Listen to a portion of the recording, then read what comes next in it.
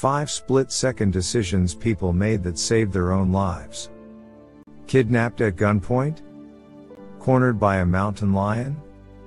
Stranded in a snowstorm? These everyday people saved their own lives with quick thinking, and now you can too. What to do when you're kidnapped at gunpoint. Around 9:30 on a cold March morning, a 17-year-old girl was carjacked at gunpoint in Wildwood, New Jersey. This was unexpected. The identity of the woman holding the gun on her was not.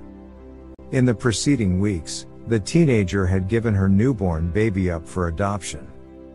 45 year old Floribert Nava, the woman now pointing a gun at her, desperately wanted the child and was devastated when a Philadelphia family was chosen instead. It seemed she was not taking no for an answer. Drive, Nava said, or I'll kill you and your family. Nava demanded she be taken to the home of the baby's new parents, on the other side of the Delaware River.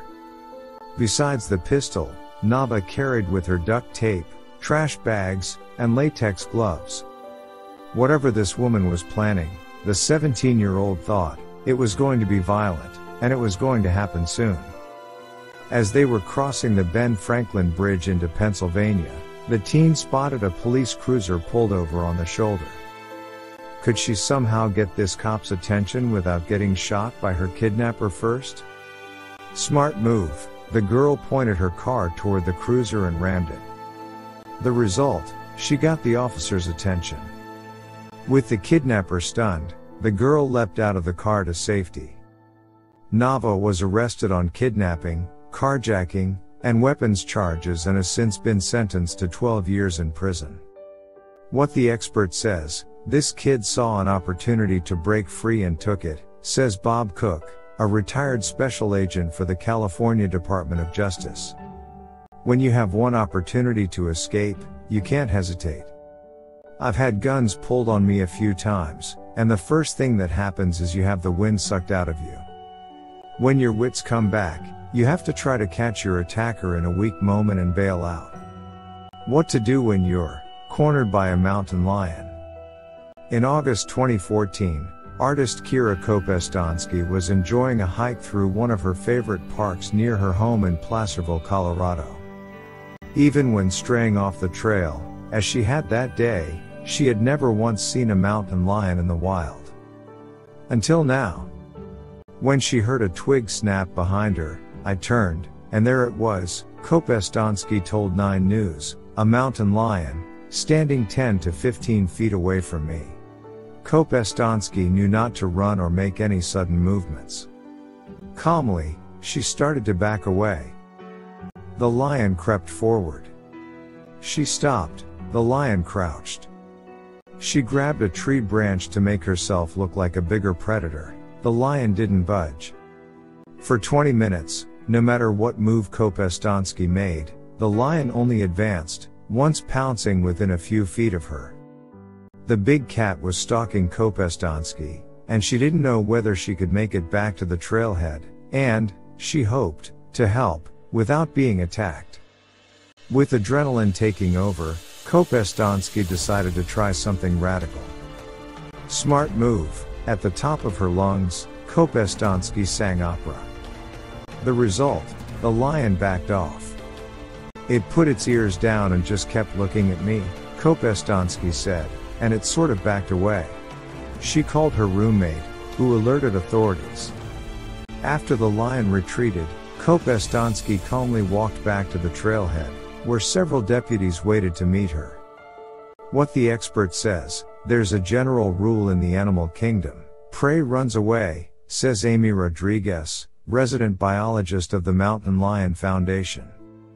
By standing her ground and making loud noises, Kopestonsky, proved to the lion that she was a person, not a dinner. What to do when you're stranded in Saskatchewan.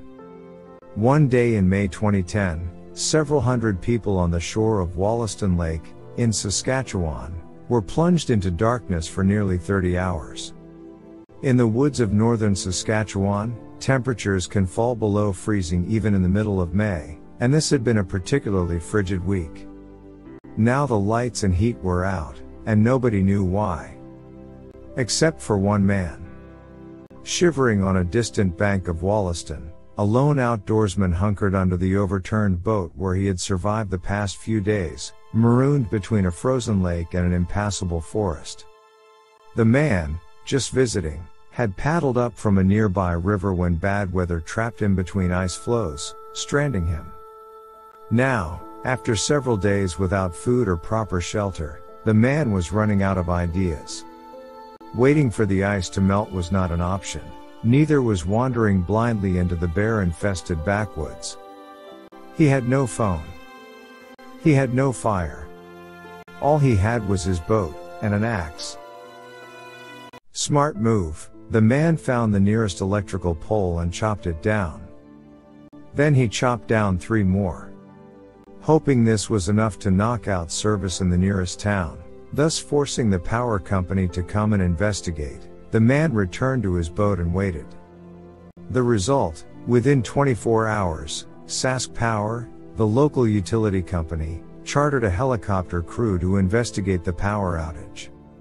The team members found the would-be lumberjack waiting by the fallen poles, looking very happy to see them. What the expert says, while Sask Power is quick to remind people to stay away from electrified power lines, Bruce Zawalski, founder of Canada's Boreal Wilderness Institute for Outdoor Education, was impressed. Improvisation saved this man's life, and that's good, he says. It's pretty desolate up there. Power lines stretch across impassable lakes and rivers, trees are up to 50 feet high, and he could have walked for miles before finding help. What to do when you're freezing in the mountains? The kids were promised an adventure in the snow. Now huddled with their parents in an overturned Jeep, the outside temperature dropping to 21 degrees below zero, they would be lucky to survive it. In December 2013, James Glanton and his girlfriend, Christina McIntee, arranged a weekend outing in Nevada's Seven Troughs mountain range. Along for the ride were their two kids plus McIntee's young niece and nephew, all ages 3 to 10. The family had the back roads to itself as it cruised through the mountains in Glanton's silver Jeep Wrangler. Rolling downhill too fast, the Jeep hit a patch of ice. Within a few terrifying seconds, the vehicle skidded off the dirt road, tumbled onto its top, and slid upside down into the bottom of a snowy ravine. Luckily, nobody was injured, but the passengers were stranded in a chasm in the middle of nowhere, and the sub-zero night was closing in. The Jeep's interior wouldn't stay warm long, and the winter coats they'd packed wouldn't be much help. If they wanted to survive, they would have to get creative, and fast. Smart move, they built an improvised radiator. After starting a bonfire with sagebrush and matches, Glanton and McIntee heated up some rocks, loaded them into a spare tire, then placed it in the Jeep's interior to keep the kids warm through the night. With heat secured, the family stayed put and waited for help. The result, they survived the 48 hours it took for the search party to rescue them and walked away without serious injuries or frostbite despite the sub-zero temperatures. What the experts say, sticking with the vehicle was important, survival expert Joseph Teti told CNN. By contrast, when a Canadian couple got lost in the Nevada wilderness in 2011, the husband left their stranded van to look for help and died. His wife was found alive in their car 49 days later. Burning rocks for warmth was another good idea, Dr. Zach Sturges of Salt Lake City's Intermountain Institute for Disaster Preparedness told NBCNews.com. Rocks make a great thermal mass if you can build an outside fire to heat them. What to do when you're abused and afraid. Calling 911 to order a pizza might not seem very daring, but it may have saved one woman's life. Unable to request police assistance while her abusive boyfriend was in the room, the woman made the following call to a 911 dispatcher. Caller, I'd like to order a pizza for delivery.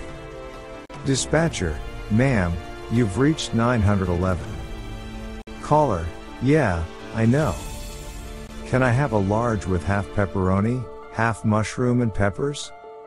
Dispatcher, I'm sorry, you know you've called 911, right? Caller, yeah. Do you know how long it will be? Dispatcher, okay, ma'am, is everything okay over there? Do you have an emergency? Caller, yes, I do. Dispatcher, and you can't talk about it because there's someone in the room with you? Caller, yes, that's correct. Do you know how long it will be? Dispatcher, I have an officer about a mile from your location. Are there any weapons in your house? Caller, nope. Dispatcher, can you stay on the phone with me? Caller, nope. See you soon, thanks. The result, an officer was dispatched to the house, where the caller's violently drunk boyfriend was arrested. After the dispatcher later recounted this call on Reddit, it instantly went viral and even inspired a Super Bowl commercial for the anti-domestic violence campaign No More.